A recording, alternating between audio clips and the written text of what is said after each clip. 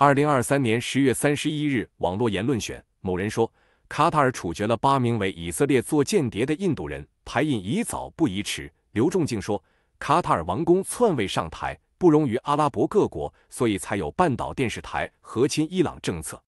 印度、中国、俄国都是以色列外线包围穆斯林世界的重点，但印度得到的军事技术比中国既多且高。印以合作，伊朗是主要受害者，却没有妨碍印度、伊朗的陆海联运和阿富汗合作。印伊合作和印俄合作，也没有妨碍制裁伊朗、俄罗斯的美国不断升级美印战略同盟。这些都是印度外交灵活而有分寸，善于以小博大、左右逢源，继承了英印帝国精英外交和情报传统的证明。排印当然是不可能的。中国的帝国资产和华人的海外财产，注定都会在战后落入印度之手。大蜀民国的政策当然是维护蜀印传统友谊，支持印度军情部门介入第四次反恐战争。事事都在大蜀民国一边。某人说，印度左右逢源原因主要还是暂时没有对美国人构成威胁。一旦印度成为第三大经济体，美国势必开始遏制印度。印度的民族主义远强于中国。刘仲敬说，普鲁士如果不发展海军，即使德意志第二帝国的经济超过英国，英德两国也并非必然对抗。但这并不重要，因为英德对抗开始的时候，路易十四和拿破仑的霸业早已在英国和普鲁士的合作之下灰飞烟灭。印度成为第三大国的时候，贵国早已四分五裂。事事都在大蜀民国一边。某人说，普鲁士发布发展海军，英国都会遏制普鲁士。普鲁士的工业强于英国，不遏制，迟早会取代英国。英国的策略就是欧洲大陆军事，美国的策略就是亚欧大陆军事。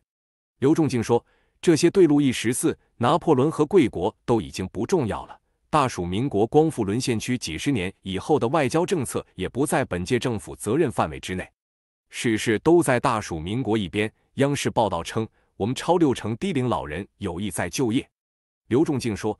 意思就是要赖掉养老金。某人说，话外之音：基督教世界有坚实信仰，无法改变，是竞争对手。中国是无神论控制下一块空白待开发土地，以传教开发这块土地，再利用中国抗衡美国为首西方。这种简单思维下构建的美丽幻想，不仅存在于伊斯兰世界统治阶层、知识分子当中，也普遍存在于伊斯兰世界穆斯林大众之中。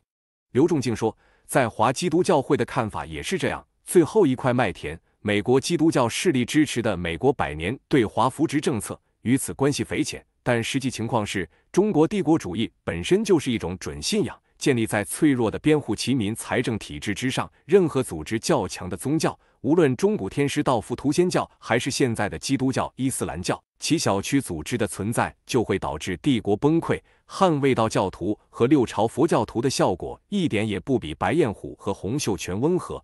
除非通过三教合一之类的政治工程，消灭宗教小区养护教民的组织能力，把宗教人士驯化为依靠官吏的傀儡。黄俄征服的中国正在做这方面的努力，愿意配合的基督教和伊斯兰教人士都不在少数。如果他们成功，新中国就是五教合一，基督教、伊斯兰教就是武则天时代的新佛教、新道教。黄俄士大夫化以后，继承儒家、维吾尔人等伊斯兰民族，就会像石勒的佛教民族和赞米亚的道教土司一样，同化为新汉人或边户齐民，跟鲜卑山西人和百越湖南人没有区别。上层人物像李世民、丁鹤年好登榜姚乐伯斯一样，改用汉名，以后也就是海瑞佐宝贵一流士大夫。集中营是编户齐民化所必须的，又是传统士大夫所缺乏的列宁党技术，恰好证明没有共产党。中国就不可能维持下去。如果他们失败，编户齐民基本盘的萎缩就会导致中国帝国在财政军事上的崩溃。清华派基督教伊斯兰教人士通过跟帝国合作的路线，全部继承最大麦田的期望也就随之失败。军阀混战形成局部割据，割据区域的编户齐民必然像罗马和阿拉伯征服的埃及、叙利亚一样攀附统治者的信仰。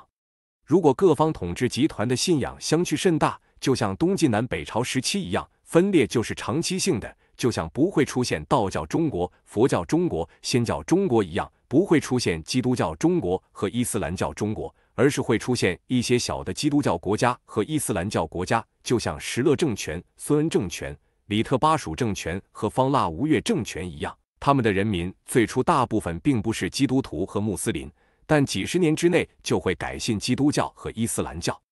这些小国和其他非基督教、非伊斯兰教的军阀政权博弈，使得重建中国帝国变得更加不可能了。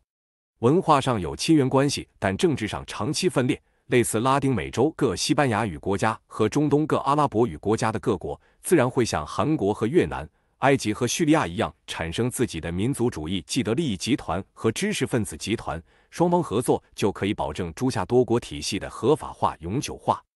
事事都在大蜀民国一边。某人答某推友说：“余英时先生说，思想可以创造历史。